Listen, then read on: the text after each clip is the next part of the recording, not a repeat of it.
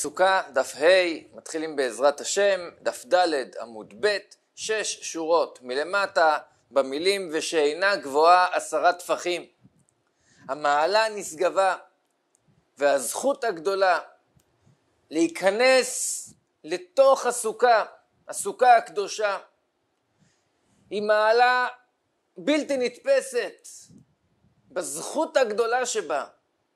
כותב הזוהר הקדוש, חלק ג' דף קג עמוד ב', שהאדם זוכה כביכול לשבת תחת כנפי השכינה הקדושה, וזה לשונו, תחזי, בוא ותראה, אומר הזוהר הקדוש, בשעתא דברנש יטיב במדור עדה, בשעה שהאדם ישב במקום הזה בתוך הסוכה, צילה דמיימנותא, בצל האמונה, שכינתא פרסה גדפה עלי מלעילה, השכינה הקדושה פורסת את כנפיה על אותו יהודי מלמעלה. אבל כותב בכתבי רבי משה בלוי, זכר צדיק לברכה, שהוא שמע מהגאון המפורסם רבי יוסף חיים זוננפלד, זכר צדיק וקדוש לברכה, שזאת הסיבה שהסוכה, הסכך לא יכול להיות נמוך למטה מעשרה טפחים.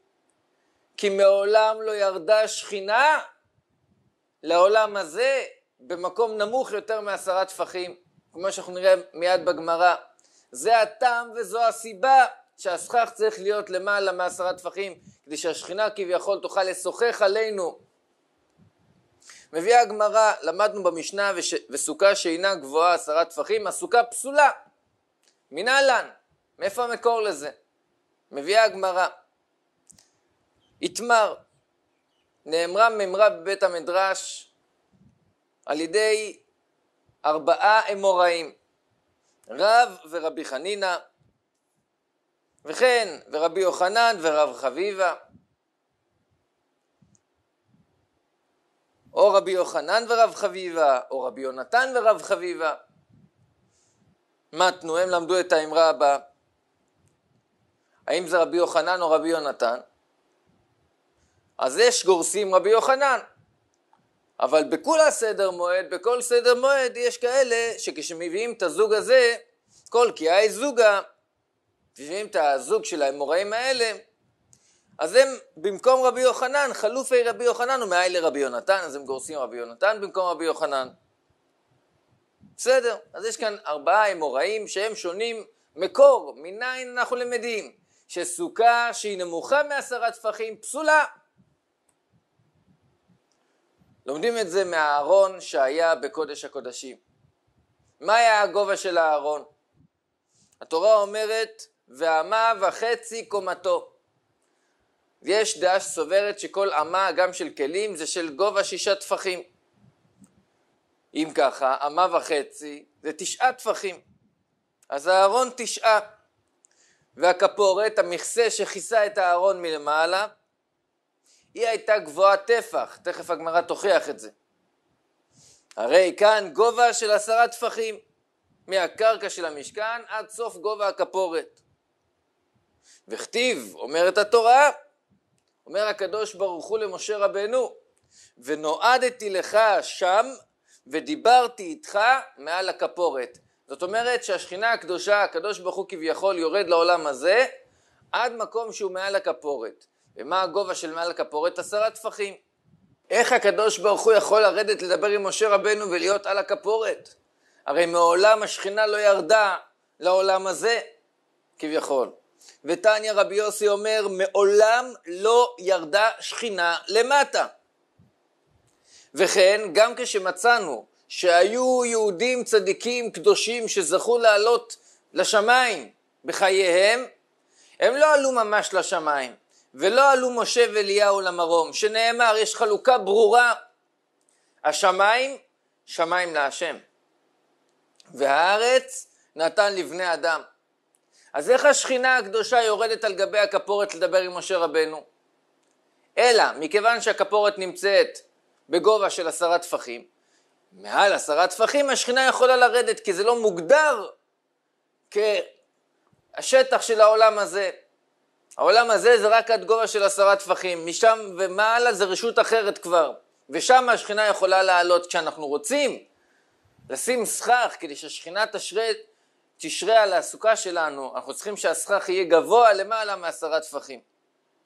שואלת הגמרא שתי קושיות, קודם כל על החלק הראשון, שאתה אומר ששכינה מעולם לא ירדה לעולם הזה, ואחר כך על החלק השני, שאתה אומר שמעולם לא עלו משה ואליהו למרום. ולא ירדה שכינה למטה, ואכתיב וירד השם על הר סיני, פסוק מפורש. מתרצת הגמרא, השכינה לא ירדה ממש לקרקע של הר סיני, אלא היא עמדה וירדה עד למעלה מעשרה טפחים. אבל בתוך עשרה טפחים, שזה רשות של העולם הזה, הארץ נתן לבני אדם.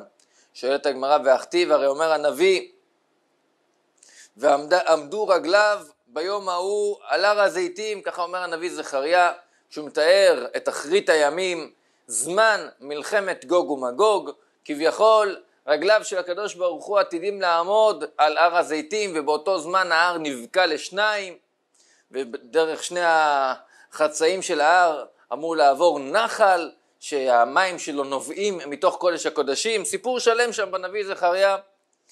אתה רואה שהשכינה עתידה לרדת על הר הזיתים, זה בתוך העולם הזה, תרצת הגמרא, כן, שכינה מעולם לא, לא תרד בעולם הזה ממש. מה שהיא תרד על הר הזיתים זה למעלה מעשרה טפחים, עד גובה של עשרה טפחים, אבל בתוך העשרה טפחים השכינה לא יורדת. עכשיו הגמרא עוברת לחלק השני, שאמרנו שמעולם לא עלו אליהו, משה ואליהו למרום, ולא עלו משה ואליהו למרום. והכתיבו משה עלה אל, האלוק, אל האלוקים, מה יש לך להגיד על זה? כתוב שהוא כן עלה למרום, מתרצת הגמרא נכון, הוא עלה כמעט עד לשמיים, אבל עד למטה מעשרה, הוא לא נכנס לתוך העשרה טפחים של השמיים כביכול.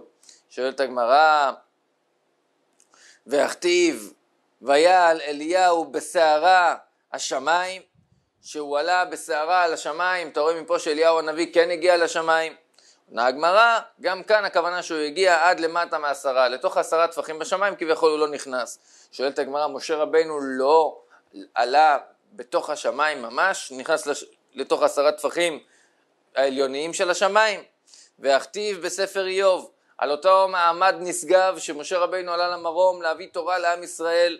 כתוב שם, הגמרא מתארת מסכת שבת, את הרקע של הפסוק הזה, שמשה רבינו כשהוא עלה למרום להביא את התורה, שאלו מלאכי השרת, מה לילוד אישה בינינו? מה מחפש פה בן אדם בעולם? אמר להם הקדוש ברוך הוא, לקבל את התורה הבאה.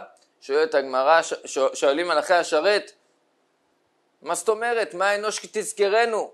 לכבוד מה מגיע ל, ל, ל, לבני העולם השפל את אותה חמדה גנוזה שהקדוש ברוך הוא גנז אותה תתקע"ד דורות לפני בריאת העולם, הקדוש ברוך הוא כך משתעשע עם התורה, למה לתת את זה לבני אדם? למה לא תשאיר את התורה פה בין מלאכי השרת? אמר הקדוש ברוך הוא למשה רבנו, תחזיר להם תשובה, תענה להם. אמר משה רבנו שהוא מפחד שמא הם ישרפו אותו, מלאכי השרת. אמר לו הקדוש ברוך הוא, תאחוז בכיסא כבודי ותחזיר להם תשובה. ככה זה ישמור עליך, ואני אפרוס את כנפיי עליך לשמור עליך. והפרסוק מתאר את זה.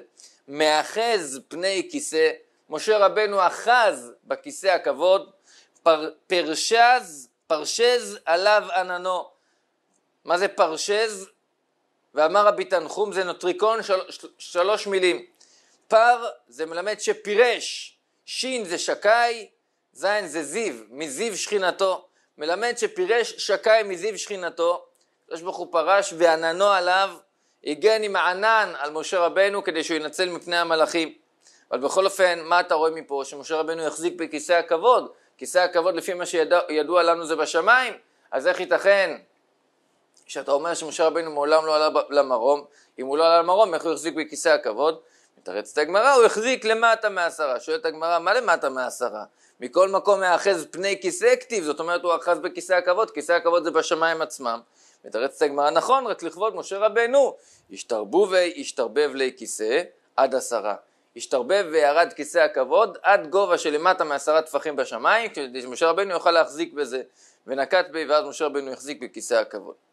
בכל אופן, למדנו שהשכינה מעולם לא ירדה או תרד למטה מעשרה, טפחים פה בעולם הזה, ומזה שהשכינה ירדה על הכפורת של הארון, והכפורת הייתה בגובה של עשרה טפחים, אז רואים מפה שעד עשרה טפחים זה הרשות של העולם הזה, מעשרה טפחים ומעלה זה רשות אחרת, אז כשאתה רוצה לחלק את, אה, את המחיצות, אתה רוצה לעשות סוכה כדת וכדין, אתה צריך לחלק את כל הרשות של העולם הזה, לכן המחיצה צריכה להיות בגובה עשרה טפחים, ומעל זה לשים את הסכך, זה הפשטות של, ה, של ההסבר בדברי הגמרא, לכן הגובה של הסוכה צריך להיות עשרה טפחים. שואלת הגמרא, אתה אומר שהגובה של הארון היה עשרה טפחים, למה? הארון תשעה ועוד המכסה של הכפורת עוד טפח. אז בישלם הארון זה שהוא בגובה תשעה טפחים, זה פסוק מפורש. דכתיב, ועשו ארון עצי שיטים, המאתיים וחצי אורכו, שהגובה שלו זה, שהאורך שלו זה שתי אמות וחצי. וכמה זה הרוחב? ואמה וחצי רוחבו, והגובה, שזה העיקר מה שכרגע מעניין אותנו, ואמה וחצי קומתו, הגובה של הארון, אמה וחצי, כמה זה אמה וחצי? אז הדעה כאן של, ה, של הגמרא זה שכל אמה, אפילו של כלים, זה שישה טפחים גובה. אז אמה וחצי זה שישה טפחים, ועוד שלושה טפחים, סך הכל תשעה טפחים. אז אנחנו מצאנו מקור לזה. אלא מאיפה, מנין לנו שהכפורת היא ברוחב של טפח, בגובה של טפח? כפורת טפח מנהלן. מנסה הגמרא להוכיח את זה. הגמרא מנסה להוכיח את זה משתי הוכחות. הוכחה ראשונה, דתנא רבי חנינא, כל הכלים של המשכן שמשה רבנו עשה, שעשה משה, נתנה בהם תורה מידת אורכם, אורך, מידת רוחבן, רוחב ומידת קומתן גובה. אבל הכפורת, המכסה של הארון, אמנם מידת אורכה ומידת רוחבה התורה נתנה וכתבה ועשית כפורת זהב טהור, המאתיים וחצי אורכה והמה וחצי רוחבה במקביל לאורך והרוחב של הארון. אבל מידת קומתה התורה לא נתנה. מאיפה נלמד מה הגובה? צאו למד מפחות שבכלים. מהכלי הכי נמוך, הכי קטן, שנאמר על השולחן שעמד בתוך ההיכל, שעליו היו מסדרים את לחם הפנים. הפסוק אומר, ועשית לו מסגרת טופח סביב. היה את הרגליים של השולחן, והיה את השולחן עצמו, את הפלטה של השולחן. מסביב לפלטה הייתה מסגרת בעובי של טפח. אז אתה רואה מפה שיש כלי שהוא ברוך, בגובה של טפח, אז משם נלמד לאהרון, שה, שהכפורת, המכסה של אהרון היה ברוחב של טפח.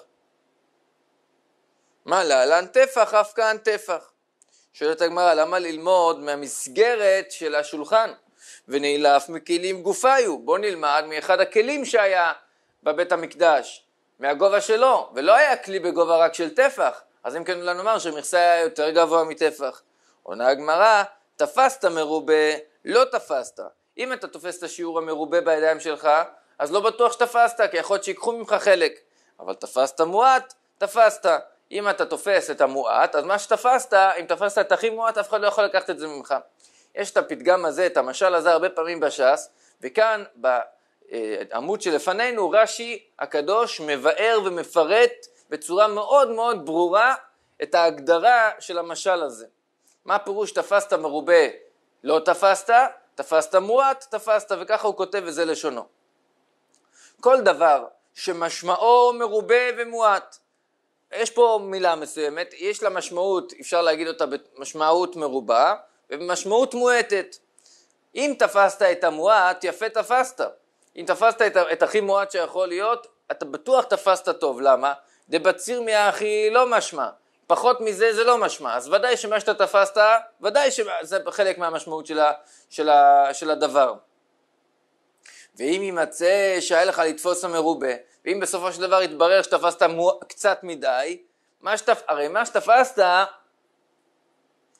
הוסיפו לך, לא נטלו ממך שביד... ממה שבידיך כלום. זאת אומרת, מה שאתה תפסת, את המועט, יישאר תמיד אצלך. בין אם יתברר שתפסת בדיוק כמו שצריך, וגם יתברר שתפסת מדי קצת, אז יוסיפו לך, אבל מה שתפסת אף אחד לא ייקח ממך אף פעם. לכן תפסת, זו תפיסה מוחלטת. אבל, אם תפסת מרובה, לא תפסת, למה? שהרי אתה נמצא שקר... כשקרן בדבריך, ושמא המועט יש לך לתפוס ואתה הרבית לתפוס.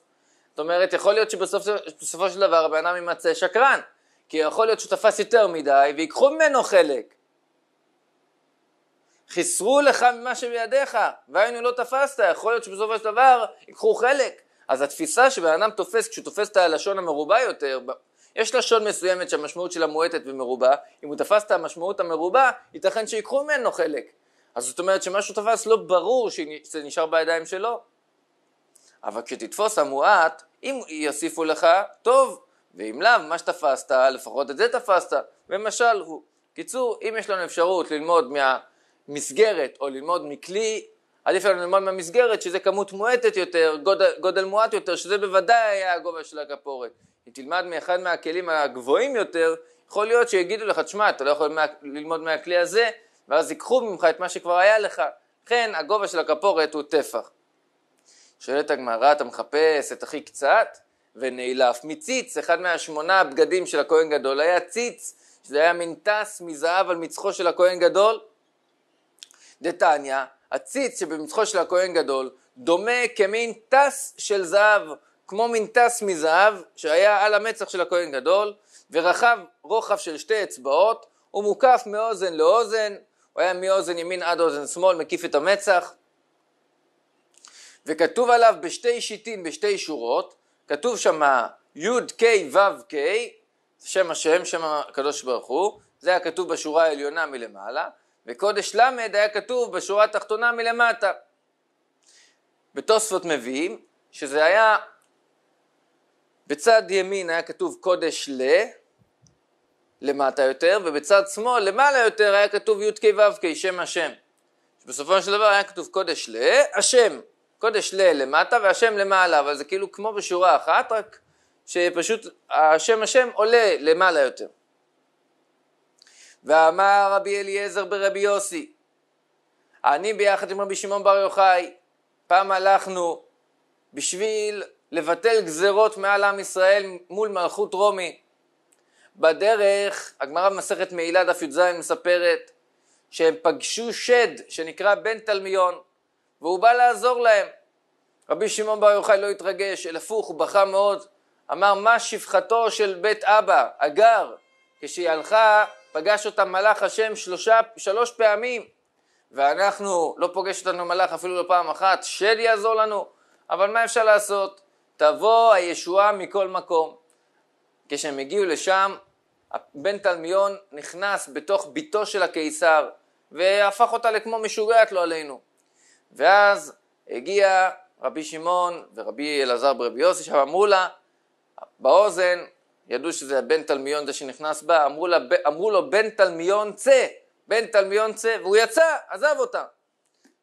מאז והלאה היא חזרה לשפ, לשפיות. הקיסר כל כך התרגש מזה, אמר להם תכנסו לאוצר, קחו משם מה שאתם רוצים. מה הלכו רבי שמעון ורבי אלעזר ברבי יוסי ולקחו משם? לקחו משם את אותם אגרות של הגזרות שבאו לגזור על עם ישראל, קראו אותם לגזירי גזרים. כן יקרא השם את כל רוע גזר דיננו. ושם אומר רבי אלעזר ברבי יוסי, ראיתי את הפרוכת שהרומאים גזלו, גזלו ובזזו מבית השם, מבית המקדש. ראיתי על הפרוכת שם דברים מסוימים, הגמרא מספרת מסכת יומא. ופה הגמרא מספרת שרבי אלעזר ברבי יוסי ראה גם כן את ציץ נזר הקודש שהיה לכהן הגדול. אני ראיתיו ברומי, וכתוב עליו קודש להשם בשיטה אחת. אז אם כן, לפי דעתו זה היה שורה אחת. מבארים שהכוונה היא שהוא ראה שה... זה אמנם היה, מה פירוש בשורה אחת? אמנם קודש ל' למטה וי' כו' כלמעלה, זה היה נראה כמו שורה אחת. אגב, כאן בסוגיה שלפנינו אנחנו רואים שגם כשיש שתי דעות בין התנאים, אפשר לומר אלו ואלו דברי אלוקים חיים. איך באמת היה הסדר של ה... איך היה כתוב על הציץ, קודש להשם. ידוע שהגאון רבי גרשון חנוך הניך מרדזין, זכר צדיק לברכה, כתב ספר ספוני תמוני חול. ושם הוא רצה להוכיח שהוא גילה איך מייצרים את התכלת. הרי כתוב שבציציות צריך פתיל תכלת, לצבוע אותו מהדם של החילזון, בצורה מסוימת שזה יהיה צבוע בצבע תכלת. והרבה מאוד שנים לא ידעו איזה חילזון מדובר. והוא הלך וחידש, הוא הצליח למצוא איזשהו סוג של חילזון, והוא טוען שהוא הצליח להגיע לתכלת המקורית. כחלק מהחקירות שלו הוא הגיע לוותיקן ברומא, והוא מצא שם את הציץ של הכהן גדול, אפילו שלושה כאלה, מה שבזז טיטוס, והביאו את זה שם לרומי. מספר זה שהתלווה אליו, קראו לו רבי אברהם, הוא סיפר את הסיפור הזה לאהרון מרקוס, שחיבר את הספר שנקרא החסידות. ואהרון מרקוס מספר שם בעמוד 245, שהוא סיפר לו שכשהם ראו את הציץ, שבציץ היה גם כן את החוט של התכלת, שאיתו היו קושרים את הציץ או משהו מעין זה, הם ראו איך כתוב המילים קודש להשם על גבי הציץ. הוא מתאר שם תיאור שלם איך זה היה כתוב, המת... המסקנה היא שבסופו של דבר אין שום ויכוח בין התנאים. זאת אומרת, הוויכוח של התנאים בסופו של דבר מתברר ששניהם צודקים. אלו ואלו דברי אלוקים חיים. מי שרוצה להסתכל שם בספר החסידות, שנקרא ספר החסידות, של אהרון מרקוס בעמוד 245, שם הוא מתאר בדיוק איך היה רשום המילים קודש להשם בצורה כזאת שבסופו של דבר גם הדעה הראשונה וגם הדעה השנייה אלו ואלו דברי אלוקים חיים. אבל בכל אופן אנחנו למדים מפה שהרוחב של הציץ היה שתי אצבעות, אז אולי נלמד מהתכשיט הזה שכמו שהוא ברוחב שתי אצבעות, ככה גם הרוחב של הכפורת היה רק ברוחב שתי אצבעות. מתרצת הגמרא, זה לא כלי. אנחנו באים ללמוד מידות של כלי, של המכסה של הארון, דנין, כלי מכלי. אנחנו מעדיפים ללמוד את השיעור של הכפורת שהוא כלי, מהמסגרת של השולחן שהוא גם כלי, ואין דנין כלי מתכשיט. אנחנו לא רוצים ללמוד את זה מהציץ, שהציץ הוא בסך הכל תכשיט. הוא לא עשוי לעבודה, הוא לא עשוי בשביל הכלים בבית המקדש, אלא הוא עשוי בשביל חלק מבגדי הכהונה. שואלת הגמרא, אתה רוצה ללמוד מכלי? ונאלף מזר על הארון, על המזבח ועל השולחן, היה מין זר כזה בגובה של משהו. דאמר מר זר משהו. אולי נאמר שהכפורת, הגובה שלה גם כן היה כלשהו. מי אמר שזה היה בגובה של טפח? מתרצת הגמרא גם כאן. דנין כלי מכלי. אנחנו דנים לדעת את הגובה של הכפורת שהוא כלי מכלי אחר מהמסגרת של השולחן. ואין דנין כלי מהכשר כלי, מאשר ללמוד את, הד... את הגובה של הכפורת מהזר שהוא רק מכשיר את הכלי, הוא לא חלק מהכלי. שואלת הגמרא וכי המסגרת הוא, הוא, הוא חלק, הוא כלי ממש, הוא הרי גם כן רק מכשיר את הכלי. יהיה אחי מסגרת נמי הכשר כלי הוא. אז אם כן, איך אתה לומד ממנו את הגובה, את העובי של הכפורת? מתרצת הגמרא, אם המסגרת של השולחן הייתה עושה, עשתה בית קיבול לשולחן, אז אתה צודק שזה בסך הכל הכשר כלי. דהיינו, יש לי שולחן, הרי היה את השולחן, ומעליו היו מסדרים 12 לחמים. השולחן עצמו, יש שתי אפשרויות, או שהוא היה שטוח, בלי בית קיבול, והמסגרת הייתה למטה, וחיזקה את הרגליים של השולחן. לפי זה, יוצא שהמסגרת הוא חלק מהכלי. כי הוא צריך אותו בשביל לחזק את השולחן בעצמו. אבל אם אתה אומר שהמסגרת הייתה מלמעלה, דהיינו שהיה את הפלטה של השולחן, את הקורה של השולחן, והיה לו בית קיבול, למה? כי עשו מסגרת מסביב, שהמסגרת הייתה מוגבעת מעל גובה הקורה של השולחן. אז אם המסגרת הייתה למעלה, בשביל מה היא מיועדת? אלא היא כמו זר, היא סך הכל עשויה לייפות את השולחן לפי זה, היא לא עשויה לחזק את השולחן עצמו, אז אם כן היא בעצמה הכשר כלי, אז אם כן,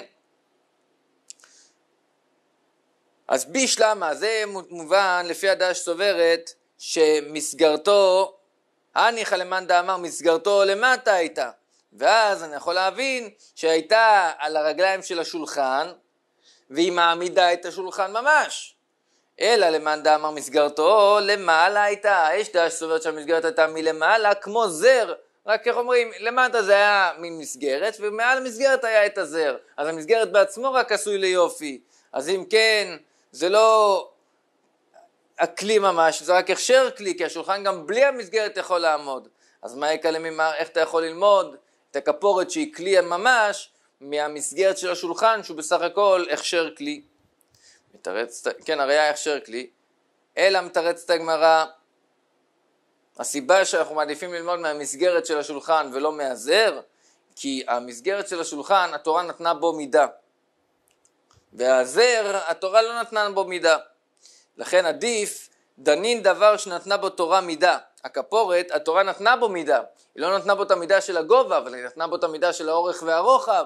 אז אנחנו מעדיפים ללמוד את המידה של הגובה מכלי אחר שהתורה נתנה בו מידה. מדבר שנתנה בו תורה מידה, שהמסגרת, התורה נתנה מידה לעובי, לגובה של המסגרת, לרוחב וכולי של המסגרת.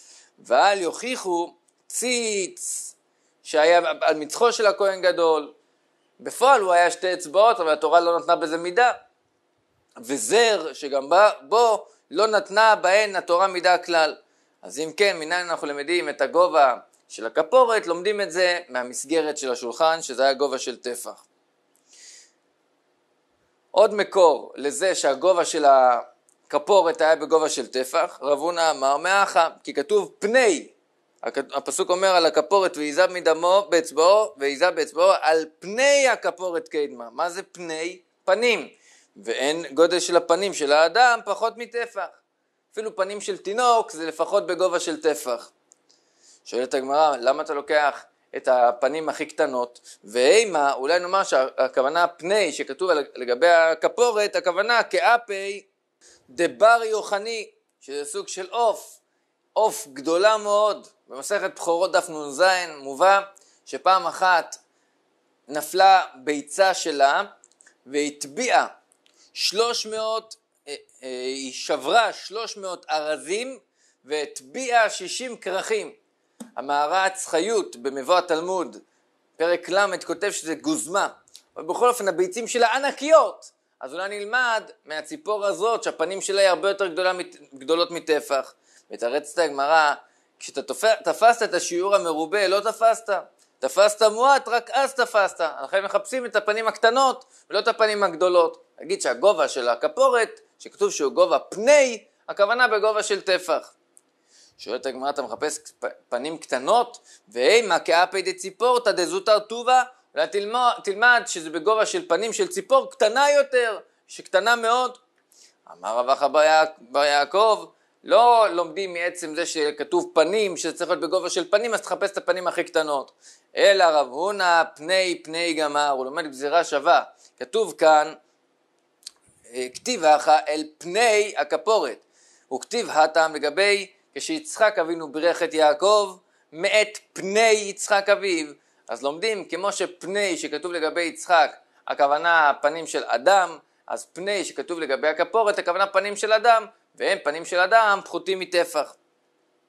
שואלת הגמרא, אם לומדים גזירה שווה פני פני ונאלף פני פני מפנים של מעלה, מפנים של מלאך, שכתוב, דכתיב, כראות פני אלוקים ותרצני. פנים של מלאך, ככה מסביר הריאה, שפנים של מעלה, הכוונה פנים של מלאך, כראות פני אלוקים ותרצני. אז אולי נאמר שתיקח את השיעור הכי גדול שיכול להיכנס למשכן, הפ... העובי הכי גדול שיכול להיכנס במשכן. הפנים הכי גדולות ששייכות. אומרת הגמרא, תפסת מרובה, לא תפסת, תפסת מועט, תפסת. שואלת הגמרא, ונאלף מכרוב, שתלמד מזה שכתוב פני אצל הכפורת, תלמד מהפני שכתוב לעניין הכרובים. מה זה הכרובים? היה את הארון בקודש הקודשים, מעל זה כמו שאמרנו היה את הכפורת, זה היה מכסה של הארון, ומעל הכפורת היה צורה של שני כרובים, כמו פנים של תינוק, עם כנפיים מעל. היה מין אה, כמו צורה של, של גובה ופנים, ומעל זה כנפיים, כרובים. שירצה יכול לראות בתמונות, החומש, בספר שמות, יש הרבה תמונות איך נראה הכרובים האלה. בכל אופן, הפנים של הכרובים זה הכוונה פנים כמו תינוק. אולי נלמד מהפנים האלה, דכתיב אל הכפורת יהיו פני הכרובים, אז רואים שגם לגבי הכרובים כתוב לשון פני. מתרצת הגמרא אין הכי נמי, באמת אפשר ללמוד גזירה שווה מהכרובים, כי זה, ש... זה אותו גובה בדיוק, זה גם כן גובה של טפח. אמר רב אחא ביעקב גמירי אין פני כרובים פחותים מטפח ורבונה נמי מאחי גמר באמת רבונה למד מהכרובים פני הכרובים שזה היה בגובה של טפח ככה גם פני הכפורת, הגובה של הכפורת זה גובה של טפח. מבארת הגמרא ומהי כרוב, שכתוב לגבי מה שהיה לגבי הארון היה כרובים, מה הכוונה כרוב? אמר רבי אבאו תינוק, כרביה בארמית, שכן בבבל קוראים לינוקה רביה, פנים של תינוק. והערים, שבעצם רואים פה דבר פלא. מה היה בתוך קודש הקודשים? פנים של תינוק. מה הרמז? לרמז, לעם ישראל, קודש הקודשים זה תינוקות של בית רבן. את כל הכוחות צריך להשקיע בדור הצעיר, שכשהם יגדלו הם יהיו אלה שימשיכו את השלשלת של עם ישראל עד ביאת המשיח. הדבר היקר ביותר שיש בעם ישראל זה אותם תינוקות של בית רבן.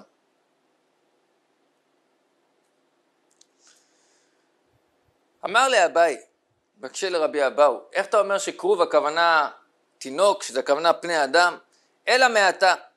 דכתיב, שם ביחזקאל כתוב על הצורה של ארבע החיות, כתוב שם על שניים מתוכם, פני האחד פני הכרוב, ופני השני פני אדם, והשלישי פני אריה, והרביעי פני נשר, אבל בכל אופן רואים שיש פני כרוב ויש פני אדם, זה שני דברים שונים, איך אתה אומר שכרוב זה הכוונה פנים של תינוק? תינוק זה לא אדם? היינו, מתרצת הגמרא, היינו כרוב, היינו אדם. באמת צורת הכרוב זה גם צורת אדם, רק כרוב זה הפ... רק אה, אדם זה הפי רב רבי, פנים של אדם גדול. והכרוב זה הפי זוטרי, זוטרה זה פנים קטנות של תינוק. טוב, אם כן מצאנו מקור שני, מניין אנחנו למדים שהגובה של הכפורת היה טפח, לומדים את זה מפני, שזה היה כמו גובה של, כתוב פני הכפורת, כתוב פני יצחק אביו, או כמו שלמדנו אחרי זה, כתוב פני הכרובים, לומדים מזה ש, שהכפורת הייתה בגובה של טפח. או מהמסגרת כמו שאמרנו, או מהפני, מהפני הקרובים. ושם למדנו שהארון היה בגובה תשעה טפחים והכפורת הייתה בגובה טפח, סך הכל בגובה עשרה טפחים. לומדים מפה לגובה של הסוכה, שצריך להיות בגובה של עשרה טפחים. שואלת הגמרא, וממאי דחללה עשרה בר מסככה, אימה בעדי סככה. מי אמר אם כן שהגובה של הסוכה עד הסכך, לא כולל הסכך זה עשרה טפחים, והסכך צריך להיות למעלה מעשרה טפחים. מי אמר? אולי הסכך צריך להיות בתוך עשרה טפחים. כי הרי הארון והכפורת היו עד עשרה טפחים כולל הכפורת. אז אולי נאמר שגם בסוכה הסכך צריך להיות בתוך עשרה טפחים, וההלכה היא שהסכך צריך להיות למעלה מעשרה טפחים. באמת הגמרא חוזרת בה לגמרי מכל הלימוד שלמדנו עד עכשיו, שלומדים את זה מהארון, אלא לומדים את זה ממקור אחר. אלא מבית עולמים גמר. מאיפה אנחנו למדים? שהסכך צריך להיות בגובה מעל עשרה טפחים, לומדים את זה מבית המקדש שבנה שלמה המלך, בית ראשון. דכתיב, והבית אשר בנה המלך שלמה להשם, מה היה המידות שלו? שישים אמה אורכו ועשרים אמה רוחבו, וכמה היה הגובה? זה הכי חשוב לענייננו, ושלושים אמה קומתו. זאת אומרת, קודש הקודשים היה בגובה שלושים אמה. וכתיב, שלמה המלך עשה בתוך הקודש הקודשים, חוץ מהארון שהיה שם, שהיה עליו את הכרובים, שבתוכו היה התורה הקדושה, הלוחות, הוא עשה בתוך קודש הקודשים, העמיד שם שני כרובים גבוהים מאוד. בנפרד מהארון, היה כרובים על הארון, חוץ מזה היה עוד כרובים בנפרד, כרובים, רק כרובים, שני כרובים עמדו שם. הפסוק אומר, קומת הכרוב האחד עשר באמה, וכן הכרוב השני היה עשר אמות גובה. כמה זה עשר אמות מתוך שלושים? ותניא מה מצינו בבית עולמים כרובים? בשליש הבית הם עומדים, כי הרי הגובה של קודש הקודשים היה שלושים אמה, והכרובים היה עד גובה של עשר אמות, אז היה שליש. אז אותו דבר גם הכרובים במשכן, נמי כרובים בשליש הבית הם עומדים. הרי הכרובים של המשכן היו איפה? על הארון. שם לא היה כרובים בנפרד, היה את הארון ומעל הארון היה כרובים. הגובה של הכרובים היה, עמד בשליש המשכן. כמה היה הגובה של המשכן? משכן כמה אבי? הגובה שלו היה עשר אמות. עכשיו, כמה זה כל אמה? שישה טפחים. מאיפה אני יודע שהמשכן היה גובה עשר אמות? דכתיב עשר אמות אורך הקרש. זאת אומרת, כל קרש מלמטה למעלה היה גובה של עשר אמות. כמה אבו להו? כמה טפחים? זה עשר אמות. כל אמה שישה טפחים. שש כפול עשר, שישים. אה, זה שיטין פושחי, פושחי הכוונה טפחים, שישים טפחים. עכשיו, טילטי כמה אבי, אנחנו אומרים שהכרובים צריכים לעמוד, הכנפיים של הכרובים בשליש המשכן. כמה זה שליש משישים? עשרים. עשרים פושחי, עשרים טפחים. עכשיו, זה הרי הכרובים עמדו על הארון, אז תוריד את הגובה של הארון, בשביל שתדע כמה הגובה של הכרובים עצמם. דל עשרה טפחים דארון וכפורת. כמה נשאר? פרשו עשרה. נשארו עשרה טפחים, מתחילת הכרובים עד גובה הכרובים, עשרה טפחים. וכתיב, הפסוק אומר, והיו הכרובים פורסי כנפיים למעלה, שוחחים בכנפיהם על הכפורת. התורה קוראת לזה סכך, מתחתיהם עד הכפורת. קריי רחמנה סככה, רואים שמה זה סכך, מה זה סוכה? עשרה טפחים, למעלה מעשרה. אז אתה רואה שרק אם הוא פרוס מעל גובה של עשרה טפחים זה נקרא סכך. שואלת הגמרא, מי אמר לך ש... שפה אתה בעצם פתרת את הבעיה יותר ממקודם? נכון, הכרובים היו מהכפורת גובה של עשרה טפחים, נכון. הם פרסו כנפיים מלמעלה, אבל מי אמר שהכנפיים היו מעל העשרה טפחים? אולי עשרה טפחים זה כולל הכנפיים עצמם, אז אם כן עדיין לא נלמד שהסכך צריך להיות מעל עשרה טפחים. ממאי גדפינו, גדפינו הכוונה הכנפיים שלהם. מניין שהכנפיים של הכרובים מלווה רישיו קיימים. מי אמר שזה היה מעל ראשם של הכרובים, ואז תגיד שזה מעל עשרה טפחים.